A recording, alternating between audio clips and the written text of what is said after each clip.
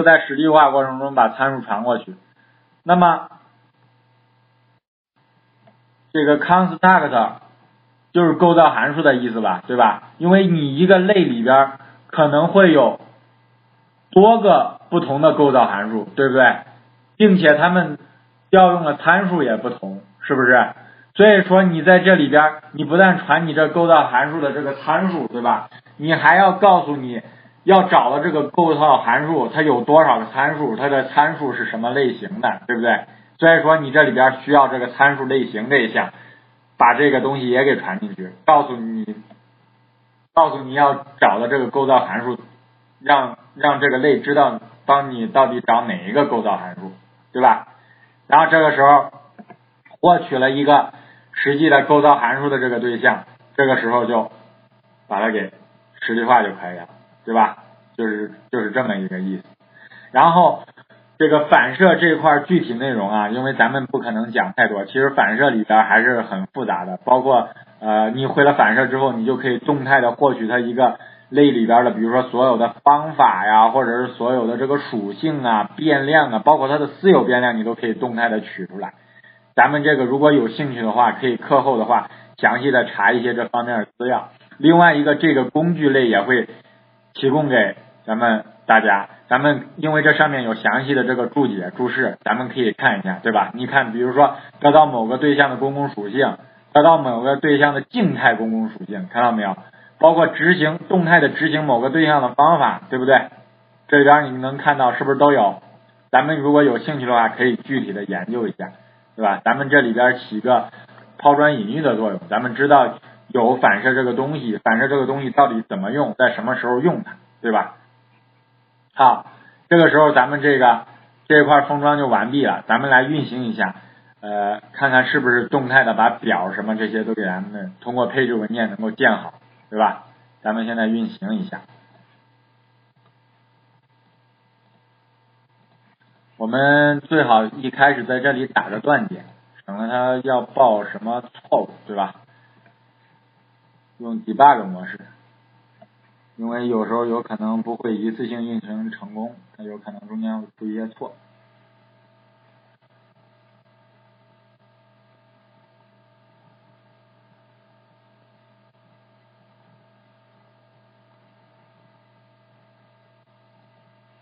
这个是执行啊，这个直接给它放过去就可以了。这个 adapter 不是咱们要。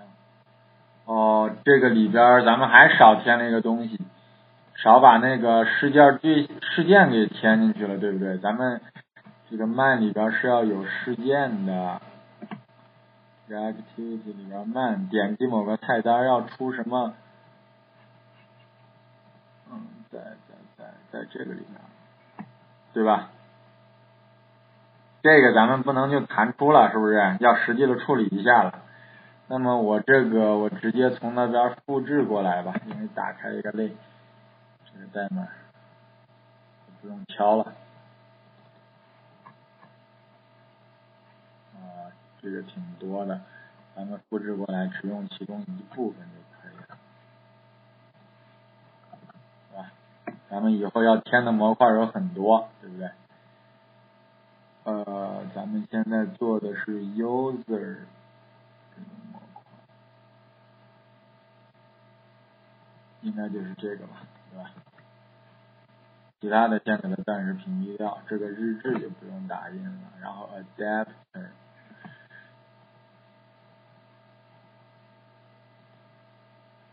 我们这个 item 都已经有了。哦，这个是 slider 的，还不能放到这里，看错了，看错了。应该是这个 read 的这个 item 事件是吧？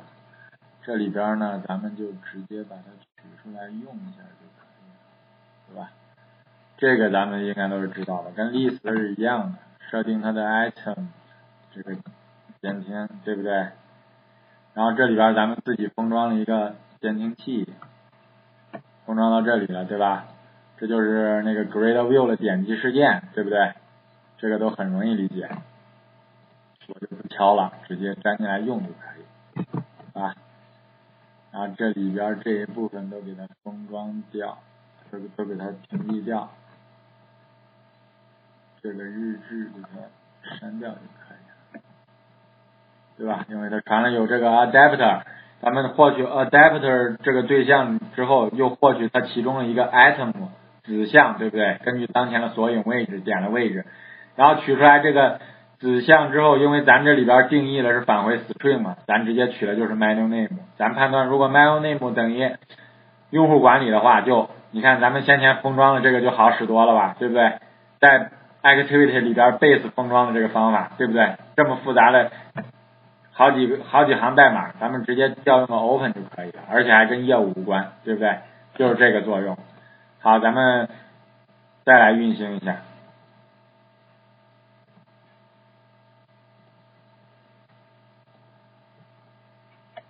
报了一个错是吧？报了一个什么错？哦，这个粘过来之后，他把引用也给粘过来，咱们要把它给删掉。这个引用用不上。啊，这就可以直接运行了。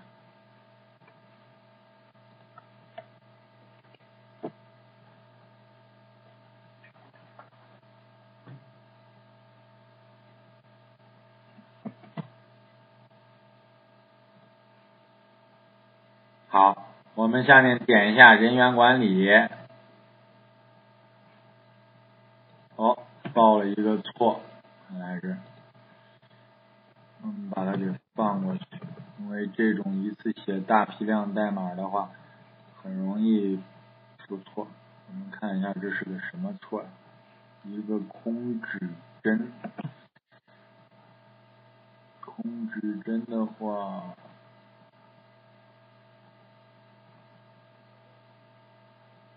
应该是在这里边有一个空指针，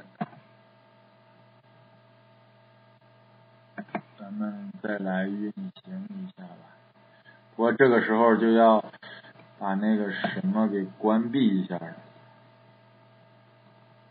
呃，不是把那个数据库，估计它已经生成了，咱们这里边需要手动删除一下，不然的话它可能它可能不会再手动生成。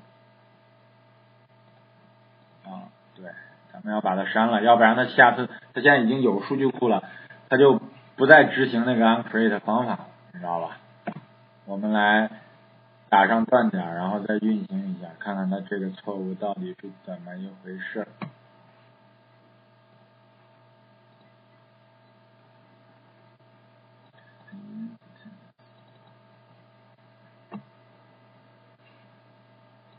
这里边实例的时候就有了一个错误，哦，可能这个实的时候这个位置应该是对的。咱们来点击运行一下，嗯，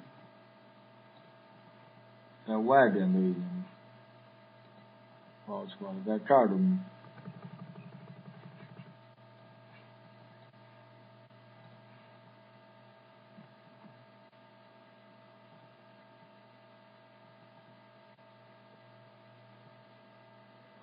还是先调试一下这个错误吧。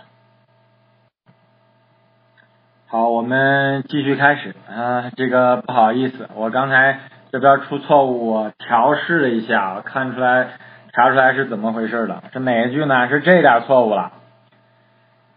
你在这个后边的时候才初始化这个康菲的对象，对不对？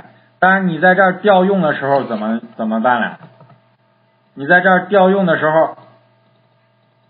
在这儿就已经去要要用这个类里边的方法了，对不对？要调用它类里边方法了，但是这时候你还为 non 值为空呢，对不对？所以这时候把它顺序应该是调换一下，对不对？它在前面先初始化，才能最后调用，对不对？好，我们那就继续再运行一下，看看运行能成功不能。刚才这个错误就是因为这个先后调用顺序不对引起的。我们就再重新走一下，看看它能成功不能。我们再来点一下，哦，这时候又有错误了。这次又是一个什么错误呢？这个东西因为代码比较多，肯定就比较难以一次性成功。这个应该是在反射的时候出现了一个错误，造成表没有建到，应该是。你看，他说没有这个表是吧？好，那就我再来查一下，看这个反射的时候出了什么问题，为什么会没有没有建到呢？我先来查一下。好，同学们，我们继续。呃，刚才那个错误呢，呃，我排查了一下，主要是两个地方，一个是犯了一个错误，呃，我这个里边这个猫，咱们这个安卓开发联盟，因为我是两个项目嘛，啊，已经一个已经写好的项目，还有一个现在正在写的项目，结果因为这两个名字，我们我们可以看到这两个名字是一样的。对不对？只是大小写不同，我一时给搞混了，所以数据库等于是我删的这个数据库一直是这，一直是它的这个数据库，下边的这个就没有删掉，所以导致那个 uncreate 方法根本就一直老是不执行。我排查了一下，然后现在这个数据库删掉之后，它就可以执行了。然后另外一个还有一个地方写了一个问题，那是什么呢？这里。刚才这个布局还是它没有替换掉，所以对象会找不到。把这几个都改过之后就没有问题了。那么为了让大家更直观的看到看到这个反射的这个过程呢，我在几个关键的位置打了几个断点，咱们可以看一下是不是一步一步的反射的执行到这里边了，好吧？然后我在这个 config 里边这点。干脆也打一个断点，打到这里就可以了，好吧？然后我们用调试模式执行一下，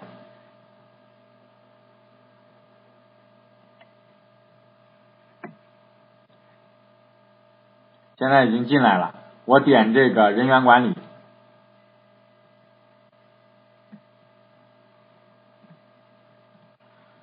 我们可以看到。现在是进到这个 Circuit Helper 里边的 Uncreate 里边了吧，对不对？下一步该获获取所有的表格了，是不是？呃，获取生成表的所有的类了，对不对？我们把它放过去，我们可以看到现在已经获取了吧，对吧？这里边都已经有值了，对不对？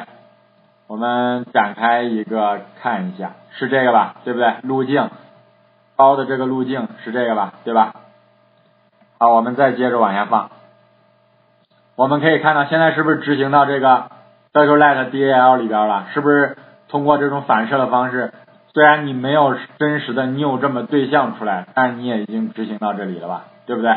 下边这就好理解了，一步一步的把脚本生成出来，执行这个脚本生成表，对不对？下边再插的就是默认数据了吧？对不对？插完之后，我们把它都给放过去，我们再来看一下。是不是我们这个数据动态的建表，然后动态的查数据，这些都生成了呀，对不对？只不过现在我们这个样式还没有调，回头我把它给调整一下，这样的话会更好看一点，对吧？所以说我们再来的回过头来回顾一下我们这节课的这个主要内容，呃，这个 s l e e d e r Menu 这个菜单控件，我们那个呃把它的这个。事件我们封装了进去，就是监听这个呃 menu 菜单事件封装了一下，对吧？然后呢，我们做了封装通用数据库操作类这个过程，对吧？首先是 config 里边是它的一些配置，包括 get table 这个比较重要的方法，反射的时候要用，对不对？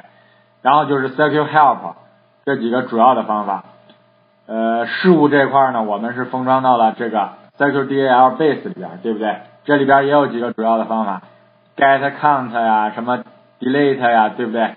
包括获取表名还有组件，然后查找实体类，然后把游标转换成 List，然后执行脚本，对不对？然后我们又做了什么？我们封装了一个人员管理模套模块的这个 CircuitDAL 层，里边最基本的登删查改我们都封装进去，对吧？都实现了，包括生成参数，对不对？然后里边的也有 uncreate 呀，还有这个修改呀，什么呃插入默认数据啊，对不对？是初始化默认数据，对吧？然后在业务层，我们就是又是一个增删查改业务逻辑上的封装，对不对？好，呃，那么今天这一节课呢，我们就暂时先讲到这里，下节课我们就呃进度会逐渐加快了，因为我们的这些基础的模块基本上都已经封装完成了，对不对？下节课我们就逐步的把这些布局啊这些再往下一个一个接着走，然后就是这个呃通过。